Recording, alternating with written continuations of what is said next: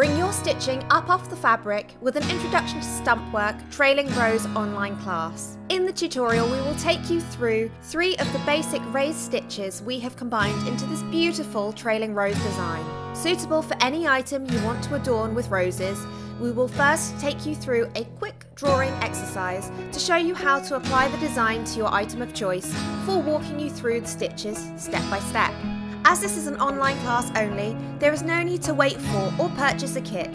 Gather a few basic embroidery materials and pieces of equipment, and you'll be good to get started right away. We think this technique is wonderful for adding some extra detail to items that could benefit from a little attention. Alternatively, you could use it as a repair technique to cover over the damaged area of a garment, like an ink-stained shirt cuff, pocket on jeans, or a tatty hem.